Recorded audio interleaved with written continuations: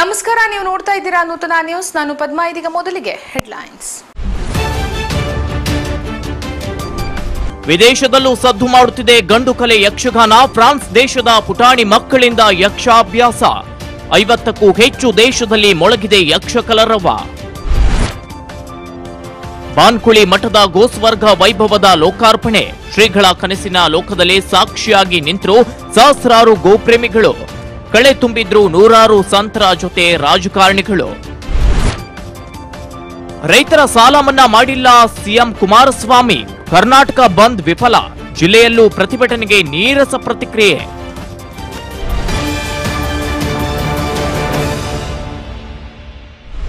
ಈಗ ವಾರ್ತೆಗಳ ವಿವರ.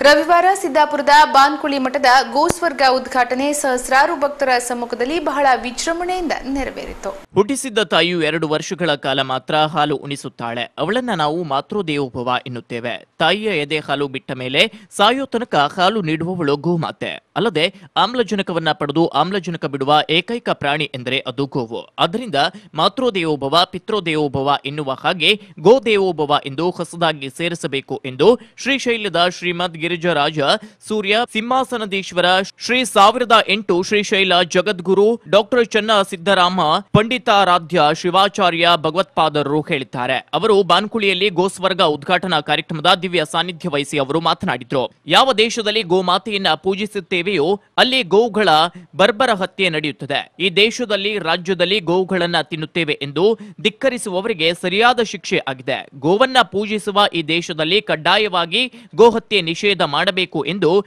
ವೇದಿಕೆಯ ಮೂಲಕ ಕೇಂದ್ರ ಸರ್ಕಾರವನ್ನ ಆಗ್ರಹಿಸುತ್ತೇವೆ ಎಂದು ಶ್ರೀಗಳು ಹೇಳಿದ್ರು. ವಿಶ್ವದಲ್ಲಿಯೇ ಒಂದು ಅಪರೂಪದ ಒಂದು ಜನಪರ ಕಾರ್ಯಕ್ರಮವಿದ್ದು, ಶ್ರೀ ರಾಘವೇಶ್ವರ ಭಾರತಿ ಮಹಾಸ್ವಾಮೀಜಿಯವರು ಗೋಗಳಿಗಾಗಿ ಸಮರ್ಪಣಾ ಭಾವದಿಂದ ಕೆಲಸ ಮಾಡುತ್ತಿದ್ದಾರೆ. ಅವರ ಜೊತೆ ನಾವಿದ್ದೇವೆ ಎಂಬ ಸಂದೇಶ ನೀಡುವ ಹಿನ್ನೆಲೆಯಲ್ಲಿ ನಾವು ಈ ಕಾರ್ಯಕ್ರಮಕ್ಕೆ ಆಗಮಿಸಿದ್ದೇವೆ. ಇಲ್ಲಿಯ ಗೋಸ್ವರ್ಗದ ಹಿರಿಮೆಯಿಂದಾಗಿ ಗೋಸ್ವರ್ಗದಲ್ಲಿರುವ ಗೋಗಳು ಇಲ್ಲಿಗೆ ಮರಳುವಂತಾಗಲಿ ಎಂದು ಅವರು ಹಾರೈಸಿದ್ರು. ಸಭೆಯ ದಿವ್ಯ ಸಾನ್ನಿಧ್ಯ ವಹಿಸಿದ್ದ ಶ್ರೀ ರಾಘವೇಶ್ವರ ಭಾರತಿ ಶ್ರೀ ಅವರು ಯಾವುದು ಅಸಾಧ್ಯವೋ ಅದನ್ನ ಮಾಡಬೇಕು. ತನ್ಮೂಲಕ ಸತ್ತ ನಂತರವೂ ಅಜರಾಮರರಾಗಿ ಇರಬಹುದು. ದೈವ ಸಂಕಲ್ಪದಂತೆ ಗೋಸ್ವರ್ಗ ನಿರ್ಮಾಣವಾಗಿದೆ. ಈ ಕಾರ್ಯಕ್ರಮದಲ್ಲಿ ಪರಮ ಪೂಜ್ಯ ಶ್ರೀ ಶಂಕರ ಸ್ವಾಮೀಜಿ, ಶ್ರೀ ಮಾಣಿಕೇಶ ಮಹಾಸಂಸ್ಥಾನ, ಶ್ರೀ ಅಂಬಾಭವಾನಿ ದೇವಸ್ಥಾನ, ದಾಮರ ಕೇಡ್ ತೆಲಂಗಾಣ, ಶ್ರೀ ನಂದೀಶ್ವರ ಶಿವಾಚಾರ್ಯ ಸ್ವಾಮೀಜಿಗಳು, ನಂದಿಗುಡಿ, ಬಾಡದ ಬೈಲ್ ಸೊರಬ ಗೋಪರಿವಾರದ ರಾಜ್ಯಾಧ್ಯಕ್ಷರು ಹಾಗೂ ವಿವಿಧ ಭಾಗಗಳ ಸಂತರು ಪಾಲ್ಗೊಂಡಿದ್ರು. ನಾಗಪುರ ಗೋವಿಜ್ಞಾನ ಅನುಸಂಧಾನ ಕೇಂದ್ರದಲ್ಲಿ ಪ್ರಮುಖ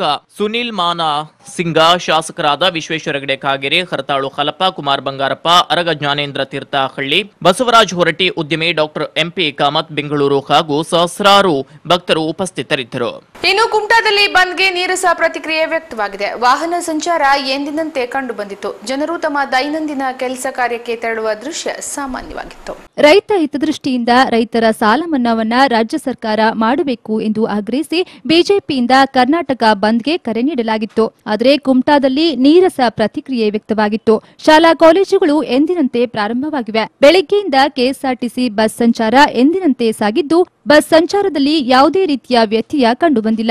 ಎಲ್ಲಾ ಅಂಗಡಿಕಾರರು ಹಾಗೂ ಕೃಷಿ ಸಲಕರಣೆ ಮಾರಾಟಗಾರರು, ಟೆಂಪೋ, ರಿಕ್ಷಾ, ರೈತ ಸಂಘದವರು ಹಾಗೂ ವಿವಿಧ ಸಂಘಟನೆಗಳು ಸ್ವಯಂ ಪ್ರೇರಿತರಾಗಿ ಬಂದ್ಗೆ ಭಾಗವಹಿಸುವಂತೆ ಬಿಜೆಪಿಯವರು ಕರೆ ನೀಡಿದ್ರು. ಆದರೆ ಯಾರೂ ಕೂಡ ಬಂದ್ಗೆ ಅಷ್ಟಾಗಿ ಬೆಂಬಲ ವ್ಯಕ್ತಪಡಿಸಿಲ್ಲ ಎನ್ನಲಾಗಿದೆ. ಎಲ್ಲಾ ಇಲಾಖೆ, ಕಚೇರಿಗಳು, ಆಸ್ಪತ್ರೆ ಎಂದಿನಂತೆ ತೆರೆಯಲಾಗಿತ್ತು. ಅಂಗಡಿ ಮುಂಗಟ್ಟುಗಳು ತೆರೆದಿದ್ದು ಗ್ರಾಹಕರು ದೈನಂದಿನ ವಸ್ತುಗಳ ಖರೀದಿಯಲ್ಲಿ ತೊಡಗಿದ್ದ ದೃಶ್ಯ ಸಾಮಾನ್ಯವಾಗಿತ್ತು. ಕುಮಟಾದಲ್ಲಿ ಬಂದ್ ಅಷ್ಟಾಗಿ ಕಂಡುಬಂದಿಲ್ಲ.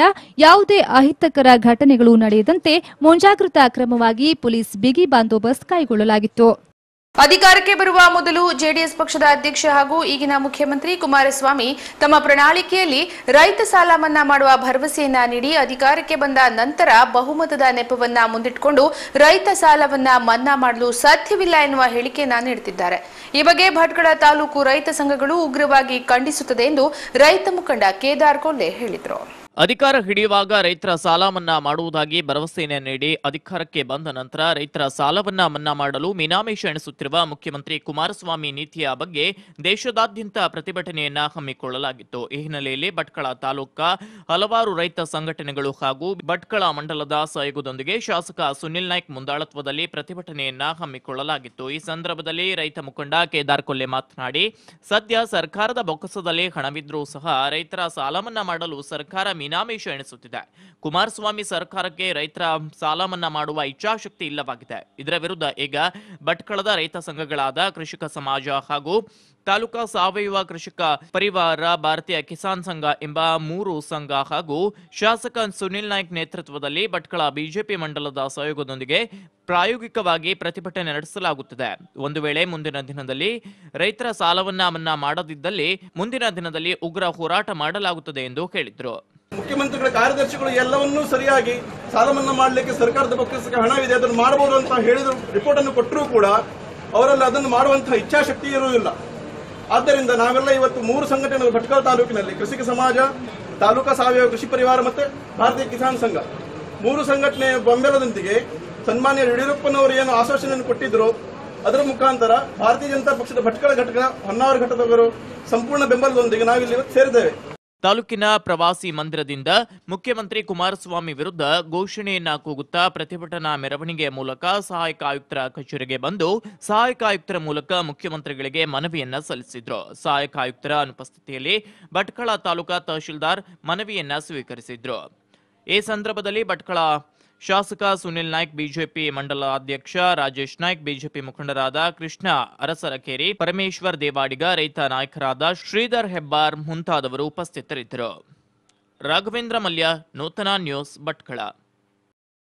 ಪರಮಪೂಜ್ಯ ಶ್ರೀ ಮುಮ್ಮಡಿ ಷಡಾಕ್ಷರ ದೇಶಿಕೇಂದ್ರ ಸ್ವಾಮೀಜಿ ವೀರ ಸಿಂಹಾಸನ ಮಠ ಮಂಡ್ಯ ಇವರು ಕ್ಷೇತ್ರ ಗೋಕರ್ಣದ ಶ್ರೀ ಮಹಾಬಲೇಶ್ವರ ದೇವಾಲಯದಲ್ಲಿ ಜರುಗುತ್ತಿರುವ ಗೋಕರ್ಣ ಗೌರವ ಐದು ನೂರ ಐದನೇ ದಿನದ ಕಾರ್ಯಕ್ರಮದಲ್ಲಿ ಭಾಗವಹಿಸಿ ಶ್ರೀ ಆತ್ಮಲಿಂಗ ಪೂಜೆ ನೆರವೇರಿಸಿದರು. ಪರಮಪೂಜ್ಯ ಜಗದ್ಗುರು ಶಂಕರಾಚಾರ್ಯ ಗೋಕರ್ಣದ ಮಂಡಲಾಧೀಶ್ವರ ಶ್ರೀ ರಾಘವೇಶ್ವರ ಭಾರತಿ ಮಹಾಸ್ವಾಮೀಜಿಯವರು ಶ್ರೀ ರಾಮಚಂದ್ರಪುರ ಮಠ ಇವರ ದಿವ್ಯ ಮಾರ್ಗದರ್ಶನದಲ್ಲಿ ಶ್ರೀ ಕ್ಷೇತ್ರ ಗೋಕರ್ಣದ ಶ್ರೀ ಮಹಾಬಲೇಶ್ವರ ದೇವಾಲಯದಲ್ಲಿ ನಾಡಿನ ವಿವಿಧ ಸಂತರುಗಳಿಂದ ಲೋಕ ಕಲ್ಯಾಣಾರ್ಥ, ಆತ್ಮಲಿಂಗ ಪೂಜೆ ಹಾಗೂ ಸಂತರಿಗೆ ಗೌರವ ಸಮರ್ಪಣೆ ಕಾರ್ಯಕ್ರಮ ಗೋಕರ್ಣದಲ್ಲಿ ದಿನಾಂಕ ಒಂಬತ್ತು ಒಂದು ಎರಡ್ ಸಾವಿರದ ಹದಿನೇಳರಂದು ಪ್ರಾರಂಭಗೊಂಡಿದ್ದು, ಶ್ರೀ ರಾಘವೇಶ್ವರ ಭಾರತಿ ಮಹಾಸ್ವಾಮೀಜಿಯವರ ಮಾರ್ಗದರ್ಶನದಂತೆ ಆತ್ಮಲಿಂಗ ಸನ್ನಿಧಿಯಾದ ಶ್ರೀ ಕ್ಷೇತ್ರ ಗೋಕರ್ಣದ ಶ್ರೀ ಮಹಾಬಲೇಶ್ವರ ದೇವಾಲಯಕ್ಕೆ ಪ್ರತಿದಿನ ಓರ್ವ ಪೂಜ್ಯ ಸಂತರನ್ನ ಆಮಂತ್ರಿಸಿ, ಲೋಕ ಕಲ್ಯಾಣಕ್ಕಾಗಿ ಅವರಿಂದ ಶ್ರೀ ಆತ್ಮಲಿಂಗ ಪೂಜೆ, ಸುವರ್ಣ ನಾಗಾಭರಣ ಪೂಜೆ ಸಲ್ಲಿಸಿ ಪೂಜ್ಯ ಸಂತರಿಗೆ ಗೌರವ ಸಮರ್ಪಣೆ ಮಾಡುವುದು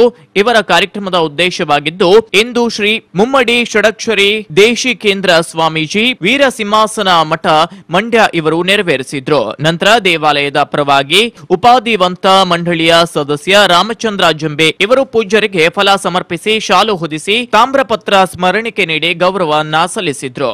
ಸಿಐಟಿಯು ಜಿಲ್ಲಾ ಮುಖಂಡರು ಸಿಪಿಐಎಂ ಸಂಘಟನೆಯ ಹೋರಾಟಗಾರರು, ಬಿಸಿಯೂಟ ಕಾರ್ಯಕರ್ತ ಹೋರಾಟ ಸಂಘದ ಮುಖಂಡರು ಹಾಗೂ ಕರ್ನಾಟಕ ಪ್ರಾಂತ ರೈತ ಸಂಘದ ಹೋರಾಟಗಾರರು ಆದ ಸುಭಾಷ್ ಕುಪ್ಪಿಕರ್ ಅವರ ಶ್ರದ್ಧಾಂಜಲಿ ಸಭೆಯನ್ನ ಶಿರಾಲಿಯ ಕನ್ನಡ ಶಾಲೆಯಲ್ಲಿ ಹಮ್ಮಿಕೊಳ್ಳಲಾಯಿತು. ಸಿಐಟಿಯು ಜಿಲ್ಲಾ ಮುಖಂಡ ಸುಭಾಷ್ ಕೊಪ್ಪಿಕರ್ ಅವರ ಶ್ರದ್ಧಾಂಜಲಿ ಸಭೆಯಲ್ಲಿ ಸಿಐಟಿಯು ಯಮುನಾ ಗಾಂವ್ಕರ್ ಮಾತನಾಡಿ, ಮಾನವತಾವಾದಕ್ಕೆ ಹೋರಾಟ ನಡೆಸುತ್ತಿದ್ದ ಹೋರಾಟಗಾರ ಸುಭಾಷ್ ಕೊಪ್ಪಿಕರ್ ಮೇ ಐದರಂದು ವಿಧಿವಶರಾದ್ರು.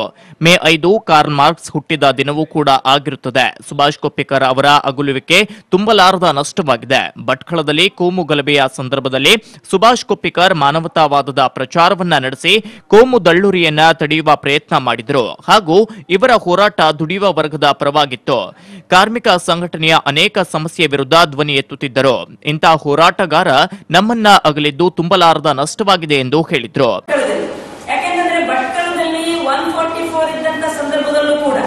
ಹಿಂದೂ ಮುಸ್ಲಿಂ ಗಲಾಟೆಯನ್ನ ಹರಿಸಿದಂತ ಸಂದರ್ಭ, ಮನುಷ್ಯ ದ್ವೇಷದ ಒಂದು ಸಿದ್ಧಾಂತವನ್ನ ಇಲ್ಲಿ ಯಾರು ಹಬ್ಬಿಸ್ಲಿಕ್ಕೆ ಪ್ರಯತ್ನ ಪಟ್ಟಿದ್ರು ಅದ್ರ ವಿರುದ್ಧವಾಗಿ ಮಾನವೀಯತೆಯ ಕಾರಣಗಳಿಗಾಗಿ ಸುಭಾಷ್ ಅವರು ಬೆಳೆದಷ್ಟು ದುಃಖ ಸುಭಾಷ್ ಅವರು ತೆಗೆದುಕೊಂಡಷ್ಟು ಶ್ರಮ ಈ ಸಂದರ್ಭದಲ್ಲಿ ಸುಭಾಷ್ ಕೊಪ್ಪಿಕರ್ ಕುಟುಂಬಕ್ಕೆ ಸಿಐಟಿಯು ವತಿಯಿಂದ ಸಹಾಯ ಹಸ್ತವನ್ನ ನೀಡಲು ನಿರ್ಧರಿಸಲಾಯಿತು. ಈ ಸಂದರ್ಭದಲ್ಲಿ ಸಿಐಟಿಯು ಮುಖಂಡರಾದ ತಿಲಕ್ ಗೌಡ ಡಾಕ್ಟರ್ ಶರಾಫ್ ವೆಂಕಟೇಶ್ ನಾಯ್ಕ್, ಶಿರಾಲಿ ಪಂಚಾಯತ್ ಅಧ್ಯಕ್ಷರು ಸುಧಾ ಭಟ್, ಬಿಸಿಯೂಟ ಕಾರ್ಯಕರ್ತರು ಉಪಸ್ಥಿತರಿದ್ದರು. ಇನ್ನಷ್ಟು ಸುದ್ದಿಗಳನ್ನ ನೋಡೋಣ. ಸ್ಮಾಲ್ ಬ್ರೇಕ್ನ ನಂತರ.